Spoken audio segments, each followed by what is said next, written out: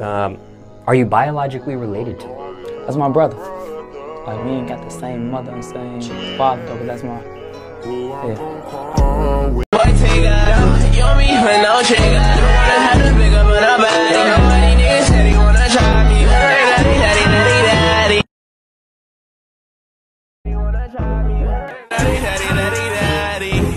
Shorty was a thotty.